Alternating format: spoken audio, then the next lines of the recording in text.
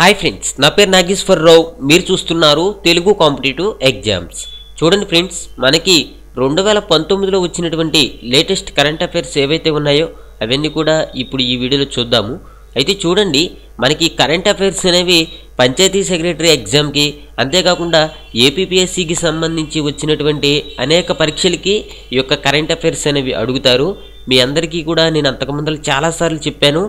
ఇప్పుడు మనం panchayat secretary exam రాస్తున్నాం అనుకోండి మనం ఏంటంటే ఆ ఎగ్జామ్ రోజు కాడి నుంచి ఆరు నెలల బ్యాక్ అనమాట ఆరు నెలల బ్యాక్ వరకు కూడా ఈ కరెంట్ అఫైర్స్ అనేవి చదువుకోవడం ద్వారా ఏంటంటే వాటి నుంచి మనకి ప్రశ్నలు అనేవి వస్తాయి.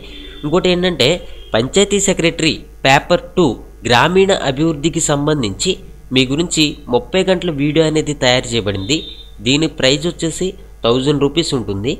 మీలో ఎవరికైనా సరే ఇంట్రెస్ట్ ఉంటే నా యొక్క మెయిల్ ఐడి ఇప్పుడు స్క్రీన్ మీద కనిపిస్తుంది కదా? ఆ మెయిల్ ఐడికి మీ పేరు స్పేస్ మీ మొబైల్ నెంబరు స్పేస్ అంతకు ముందర మీది ఏదైనా బుక్స్ కనుక చదువుంటే ఆ బుక్ నేమ్ రాయండి. లేకపోతే ఫ్రెష్ క్యాండిడేట్ అయితే ఫ్రెష్ క్యాండిడేట్ అని రాయండి. ఓకే అయితే చూడండి మనం మొదటిది కనుక చూసుకుంటే నాగ్పూర్ కేంద్ర కారాగారంలో ఫోన్ ఇన్ రేడియో ప్రారంభం నాగ్పూర్ కేంద్ర కారాగారంలో mediated phone in radio counselling కార్యక్రమంను Indira Gandhi జాతీయ సార్వత్రిక విశ్వవిద్యాలయం రీజనల్ డైరెక్టర్ శివస్వరూప్ జనవరి ఎనిమిదిన ప్రారంభించారు. ఈ కార్యక్రమం ద్వారా ఈ యొక్క కారాగారంలో విద్యాభ్యాసం చేస్తున్నటువంటి ఖైదీలు పాఠాలు వినడమే కాకుండా తమకు కలిగినటువంటి సందేహాల్ని నివృత్తి చేసుకోవచ్చు. ఈజ్ఞో జ్ఞానవాణి ఛానల్ ద్వారా ఖైదీలకు ప్రశ్నలు అనుమానాలకు జవాబు లభిస్తాయి అని మనకి చెప్పడం జరుగుతుంది. వీటి నుంచి మనకి ప్రశ్నలు అనేవి ఏ విధంగా ఇస్తారంటే ఈజ్ఞో జ్ఞాన్ వాణి రేడియో ఛానల్ దేనికి సంబంధించింది? అంటే ఇలా ఖైదీలకి సంబంధించింది అని మనం ఆన్సర్ చేయాలి. తర్వాత చూడండి ఏపీ సాహిత్య అకాడమీ చైర్మన్గా ప్రొఫెసర్ ఇనాక్. ఆంధ్రప్రదేశ్లో నాలుగు కార్పొరేషన్లకు ముఖ్యమంత్రి చంద్రబాబు చైర్మన్లను ఎంపిక చేశారు. AP state Christian finance corporation చైర్మన్గా మద్దిరాల జోసెఫ్ ఎమాన్యుయల్ సాహిత్య అకాడమీ చైర్మన్గా ప్రొఫెసర్ కొలకలూరి ఇనాక్ సాహిత్య నృత్య అకాడమీ చైర్మన్గా వందే మాత్రం శ్రీనివాస్ జానపద కళలు సృజనాత్మకత అకాడమీ చైర్మన్గా పొట్లూరి హరికృష్ణను ఎంపిక చేశారు. ఈ నియమాలకు సంబంధించి త్వరలో ఉత్తర్వులు జారీ చేయనున్నారు అని మనకి చెప్పడం జరుగుతుంది. ఓకే? ఏంటంటే ఇది మనకి కొంచెం ఇంపార్టెంట్ అని చెప్పుకోవచ్చు. ఏపీ ఏపీ సాహిత్య అకాడమీ చైర్మన్గా ఎవరిని ఎంపిక చేశారు అంటే ప్రొఫెసర్ కొకలూరి ఇనాక్ అని మనం ఆన్సర్ చేయాలి. ఓకే? తర్వాత చూడండి. అగ్రవర్ణ రిజర్వేషన్ బిల్లుకు లోక్సభ ఆమోదం చెప్పడం జరిగిందనమాట. అగ్రవర్ణ పేదలకు విద్యా ఉద్యోగాల్లో పది శాతం రిజర్వేషన్లు కల్పించే నూట ఇరవై నాలుగవ రాజ్యాంగ సవరణ రెండు వేల పంతొమ్మిది బిల్లుకు జనవరి ఎనిమిదిన లోక్సభ ఆమోదం తెలిపింది. ఈ బిల్లుకు కేంద్ర సామాజిక న్యాయశాఖ మంత్రి దావర్చంద్ గెహ్లోట్ లోక్సభలో ప్రవేశపెట్టగా సభకు హాజరైన వారిలో మూడు వందల ఇరవై మూడు మంది బిల్లుకు అనుకూలంగా ముగ్గురు వ్యతిరేకంగా ఓటు వేశారు. పది శాతం రిజర్వేషన్లు అమలైతే బ్రాహ్మణులు కమ్మ కాపు రాజ్పుత్ జాట్ మరాఠా భూమిహర్ తదితర కులాల్లో పేదలకు లబ్ధి చేకూరనుంది అని మనకి చెప్పడం జరుగుతుంది అనమాట ఓకే? చూడండి ఫ్రెండ్స్ ఈ యొక్క బిట్ ఏదైతే ఉందో ఇది మనకి చాలా వరకు కూడా ఇంపార్టెంట్ అని చెప్పుకోవచ్చు. దీన్ని మళ్ళీ ఇంకో రకంగా ఎలాగ అడుగుతారంటే ఇప్పటి వరకు వచ్చి రాజ్యాంగం ఎన్నిసార్లు సవరించబడింది? అంటే నూట ఇరవై నాలుగు సార్లు సవరించబడింది. ఇదేంటంటే నూట ఇరవై నాలుగోసారిగా మనకి యొక్క అగ్రవర్ణాల రిజర్వేషన్ పది శాతం వరకు కూడా ఇవ్వడం జరిగింది. ఇంకోటి ఏమంటారంటే మనకి రకరకాల కులాలు ఇస్తారు కింద. ఈ యొక్క పది శాతం అగ్రవర్ణాలకు పది శాతం రిజర్వేషన్ వర్తించని వారు ఎవరు అని అడుగుతారు. అప్పుడు ఏంటంటే మనం కన్ఫ్యూజ్ అవ్వకోకుండా ఆన్సర్ చేయాలి. ఇవి కూడా మనం గుర్తుపెట్టుకోవాలన్నమాట. ఈ యొక్క బ్రాహ్మణ కమ్మ కాపు రాజ్పుత్ జాట్ మరాఠా భూమిహర్ తదితర కులాల్లో పేదలకు లబ్ధి అనేది చేకూరనుంది అని చెప్పు. ఓకేనా? అదేవిధంగా మనకి సిబిఐ చీఫ్గా అలోక్ వర్మ పునర్నియామకం అనేది జరిగింది. సెంట్రల్ బ్యూరో ఆఫ్ ఇన్వెస్టిగేషన్ డైరెక్టర్గా అలోక్ కుమార్ వర్మ వర్మను పునర్నియమిస్తూ సుప్రీంకోర్టు జనవరి ఎనిమిదిన తీర్పు వెలువరిచింది. అయితే అలోక్ వర్మ ఎలాంటి ప్రధాన విధానపరమైనటువంటి నిర్ణయాలు తీసుకోకుండా కోర్టు ఆంక్షలు విధించింది. సిబిఐ చీఫ్ను నియమించేందుకు తొలగించేందుకు అధికారం ఉన్న ప్రధాని నేతృత్వంలోని అత్యున్నత స్థాయి త్రి త్రిసభ్య కమిటీ అలోక్ వర్మ కేసును పరిశీలించి ఆయనను సిబిఐ డైరెక్టర్ పదవిలో కొనసాగించాలా వద్దా అన్నది నిర్ణయించేంత వరకు ఈ ఆంక్షలు అమల్లో ఉంటాయని కోర్టు పేర్కొంది. ఓకే? ఇది ఫ్రెండ్స్ మనకేంటంటే సిబిఐ చీఫ్గా ఈ యొక్క అలోక్ వర్మ పునర్నియామకం అనేది జరిగింది. అయితే దీనికి ఏంటంటే కొన్ని రకాలైనటువంటి షరతులు కూడా పెట్టడం జరిగింది అనమాట ఓకే? అదేవిధంగా సౌర వ్యవస్థ ఆవల మరో కొత్త గ్రహం అనేది గుర్తించడం జరిగింది. మన సౌర వ్యవస్థ ఆవల మరో కొత్త గ్రహాన్ని గుర్తించినట్లుగా జనవరి ఎనిమిదిన నాసా శాస్త్రవేత్తలు వెల్లడించారు. ఈ గ్రహం భూమికి సుమారుగా యాభై మూడు కాంతి సంవత్సరాల దూరంలో సూర్యుడి మాదిరి ప్రకాశవంతమైన ఓ మరగుజ్జు నక్షత్రం చుట్టూ పరిభ్రమిస్తున్నట్లుగా తెలిపారు. ఈ కొత్త గ్రహానికి HD two one seven four nine B అని పేరు పెట్టారనమాట ఓకే? అయితే మనల్ని ఏమని అడుగుతారంటే ఇవి కూడా మనం గుర్తుంచుకోవాల్సినటువంటి ఆవశ్యకత అయితే ఉంది. ఎందుకంటే ఇటీవల రెండు వేల పంతొమ్మిదిలో కనుగొన్న కొత్త గ్రహానికి ఏ విధమైనటువంటి పేరు పెట్టారు? అంటే HD two one seven four nine B అని పెట్టడం జరిగిందనమాట. ఓకే? మీరు కనుక చూస్తే మనం తర్వాత వీడియోస్లో చెప్పుకుందాము. అసలు ఈ HD two one seven four nine B అని ఎందుకు పెడతారు? ఏంటి అనేది మనం నెక్స్ట్ వీడియోలో కంపల్సరిగా చెప్పుకుందాము. అయితే చూడండి మన సౌర వ్యవస్థ ఆవల ఉన్న గ్రహాల కోసం అన్వేషణ సాగిస్తున్నటువంటి టేస్. ఈ టేస్ అంటే ఏంటంటే ట్రాన్సిస్టింగ్ ఎక్సోప్లానెట్ సర్వే శాటిలైట్. దీని సహాయంతో ఈ యొక్క గ్రహం అయినటువంటి HD two one seven four nine B గ్రహాన్ని కనుగొన్నారు అని మనకి చెప్పడం జరుగుతుంది. అయితే చూడండి మరొకటి.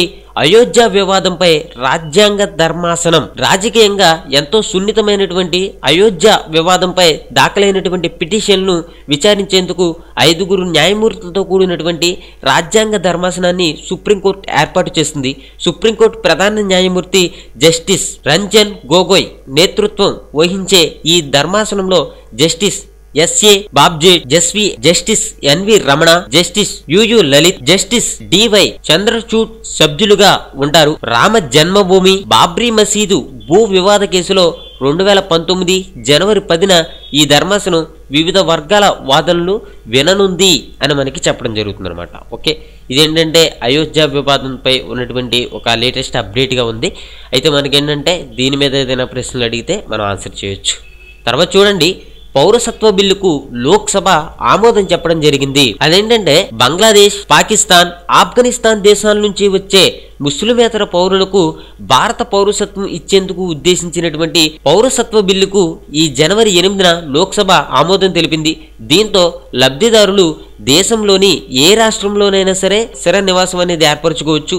ఈ మూడు దేశాల్లో వేధింపులు హింసకు గురై భారత్కు వలస వచ్చే హిందువులు జైనులు క్రైస్తవులు సిక్కులు బౌద్ధులు పార్సీలకు భారత పౌరసత్వం ఇవ్వాలని ఇందులో ప్రతిపాదించారు. అలాగే పౌరసత్వం పొందేందుకు భారత్లో కనీస నివాస కాలాన్ని పన్నెండేళ్ళ నుంచి ఆరేళ్ళకు కుదిస్తూ బిల్లులో ప్రతిపాదించారు అని మనకి చెప్పడం జరుగుతుంది అనమాట ఓకే? ఈ యొక్క పౌరసత్వ బిల్లుకు సంబంధించి ఏంటంటే లోక్సభ అనేది ఆమోదం చెప్పడం జరిగింది. దీన్ని బట్టి ఏంటంటే ఎవరైనా సరే ఎంతకాలం కనీసం ఎంతకాలం ఉండాలి అంటే మామూలుగా అయితే పన్నెండేళ్ళు ఉంటే ఏంటంటే పౌరసత్వం అనేది వస్తుంది. కాకపోతే దాన్ని ఇంకా కుదిస్తూ ఆరేళ్ళు కుదిస్తూ బిల్లు అనేది ఆమోదించడం జరిగింది. ఓకేనా? తర్వాత చూడండి. ఆస్ట్రేలియా గడ్డపై తొలిసారి టెస్ట్ సిరీస్ గెలిచిన భారత్. ఓకే? ఇదంతా కూడా మనందరికీ కూడా తెలిసిందే. ఎవరైతే బాగా క్రికెట్ చూస్తారో వాళ్ళందరికీ ఈ విషయం అనేది ఆల్రెడీ తెలిసిందే. కాకపోతే మనం చెప్పుకోవడానికి గల కారణం ఏంటంటే మనం ఎగ్జామ్కి సంబంధించి మనం వీటిలో ఏంటంటే చాలా పర్ఫెక్ట్గా గుర్తించుకోవాల్సి ఉంది ఆస్ట్రేలియాలో భారత జట్ చారిత్రాత్మకమైనటువంటి బార్డర్ గవస్కర్ ట్రోఫీ టెస్ట్ సిరీస్ను సొంతం చేసుకుంది.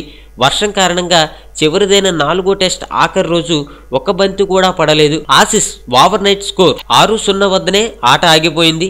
దాంతో సిడ్నీ టెస్ట్ అనేది డ్రాగా మూసింది. ఫలితంగా నాలుగు టెస్టుల సిరీస్ను భారత్ రెండు ఒకటితో సొంతం చేసుకుంది. అడిలైట్ మెల్బోర్న్ టెస్టులో భారత్ గెలువగా ఫెర్త్లో జరిగిన రెండో టెస్టులో ఆసిస్ విజయం సాధించింది.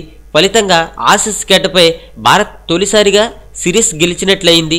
ఎప్పుడో మనకి పంతొమ్మిది వందల నలభై ఏడు నలభై ఎనిమిది సిరీస్తో మొదలుపెట్టి రెండు వేల పద్నాలుగు పదిహేను వరకు పదకొండు సార్లు ఆస్ట్రేలియాలో పర్యటించిన టీమిండియా ఎనిమిది సార్లు ఓడిపోగా మూడు సార్లు సమానంగా నిలిచింది. ఎట్టకేలకు డెబ్బై రెండేళ్ళ తర్వాత పన్నెండో ప్రయత్నంలో యొక్క విజయం అనేది Bharat సొంతమైంది. Cheteshwar Pujara man of the మ్యాచ్గా నిలవడంతో పాటు మొత్తంగా సిరీస్లో మూడు సెంచరీలు సహా డెబ్బై నాలుగు పాయింట్ ఫోర్ టూ సగటుతో ఐదు వందల ఇరవై ఒకటి చేసి man of the series award కూడా గెలుచుకున్నారు అని చెప్పడం జరుగుతుందనమాట ఎవరు అంటే చతేశ్వర్ పూజారా అని మనం చెప్పుకోవచ్చు. ఓకే? ఇది ఫ్రెండ్స్ మనకేంటంటే ఆస్ట్రేలియా గట్టుపై తొలిసారిగా ఈ యొక్క టెస్ట్ సిరీస్ అనేది భారత గెలుచుకుంది. తర్వాత చూడండి మనకి సీతారామ ప్రాజెక్టుకు పర్యావరణ అనుమతులు అనేవి లభించేవి. ఉమ్మడి ఖమ్మం జిల్లా సాగు తాగు అవసరాలు తీర్చేందుకు ఉద్దేశించినటువంటి సీతారామ ఎత్తుపోతల ప్రాజెక్టుకు అవసరమైనటువంటి తుది పర్యావరణ అనుమతులు మంజూరయ్యాయి. ఈ మేరకు కేంద్ర అటవీ మరియు పర్యావరణ మంత్రిత్వ శాఖ జనవరి ఎనిమిదిన ఉత్తర్వులు జారీ చేసింది. దుమ్ముగూడెం ఆనకట్ట నుంచి గోదావరి నీటిని తరలించి ఖమ్మం భద్రాద్రి కొత్తగూడెం మహబూబాబాద్ జిల్లాల్లో మనకి ఒక లక్ష ముప్పై మూడు వేల ఎనభై ఐదు హెక్టార్ల కొత్త ఆయకట్టుకు మరియు ఒక లక్ష ముప్పై తొమ్మిది వేల ఎనిమిది వందల ముప్పై ఆరు హెక్టార్ల స్థిరీకరణ చేసేలా సీతారామ ప్రాజెక్ట్ చేపట్టారు అని మనకి చెప్పడం జరుగుతుంది అనమాట ఓకే? ఏంటంటే ఈ యొక్క సీతారామ ప్రాజెక్టుకి సంబంధించి మనకేంటంటే ఒక లక్ష ముప్పై మూడు వేల ఎనభై ఐదు హెక్టార్ల కొత్త ఆయకట్టుకు మరియు ఒక లక్ష ముప్పై తొమ్మిది వేల ఎనిమిది వందల ముప్పై ఆరు హెక్టార్ల స్థిరీకరణ చేసేలాగా ఈ యొక్క సీతారామ ప్రాజెక్ట్ అనేది చేపట్టారు. ఇదేంటంటే కొంచెం ముఖ్యమైనటువంటి ఇంపార్టెంట్ అయినటువంటి బిట్గా మనం చెప్పుకోవచ్చు. ఇదేంటంటే ప్రాజెక్ట్కి సంబంధించి ఇటీవల జరిగినట్లు ప్రాజెక్టుల గురించి ఏదైనా అడగాలి అని అనుకుంటే ఈ బిట్ అనేది అడిగేటటువంటి అవకాశం అయితే కంపల్సరీగా ఉంటుంది. తర్వాత చూడండి బంగ్లాదేశ్ ప్రధానమంత్రి ఎవరు అని అడిగితే నాలుగోసారి బంగ్లాదేశ్ ప్రధానమంత్రిగా ఎంపికైనటువంటి ఆవామీ లింగ్ అధినేత షేక్ హసీనా జనవరి ఏడున ప్రమాణ స్వీకారం చేశారు. అధ్యక్షుడు మహమ్మద్ అబ్దుల్ హమీద్ హసీనాతో బంగా భవన్లో ప్రమాణ స్వీకారం చేయించారు. అనంతరం ఇరవై నాలుగు మంది కేబినెట్ మంత్రులుగా పంతొమ్మిది సహాయ మంత్రులుగా ప్రమాణ స్వీకారం చేశారు. ఈసారి కేబినెట్లో ముప్పై ఒక్క మంది కొత్త వారికి అవకాశం కల్పించారు. అవామీ లింక్తో జతకట్టిన కూటమి పార్టీకు చెందినటువంటి మాజీ మంత్రులకు స్థానం కల్పించలేదు. అవామీ లింక్ చెందిన వారిని మాత్రమే మంత్రులుగా ఎంపిక చేశారు. వరుసగా మూడు సార్లు మొత్తంగా నాలుగు సార్లు యొక్క బంగ్లాదేశ్కు ప్రధానిగా ఎన్నికైన హసీనా రికార్డ్ అనేది సృష్టించారు అని మనం చెప్పుకోవచ్చు. మనకి పంతొమ్మిది వందల తొంభై ఆరులో ఒకసారి రెండు వేల ఎనిమిది రెండు వేల పద్నాలుగో సంవత్సరంలో ఆమె ప్రధానిగా ఎన్నికయ్యారు.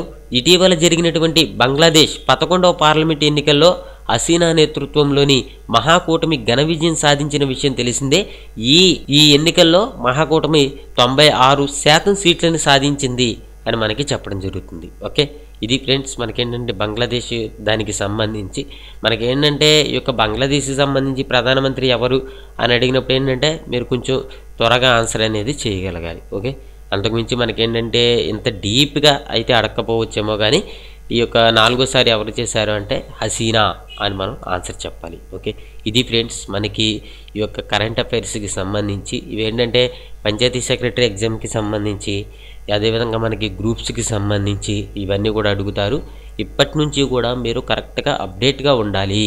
ఇంకోటి ఏంటంటే రెండు వేల పద్దెనిమిదిలో మనకి డిసెంబర్ ఒకటి నవంబర్ ఒకటి అక్టోబర్ ఒకటి ఈ మూడు నెలలు కూడా మీరు బాగా చూసుకోవాలి.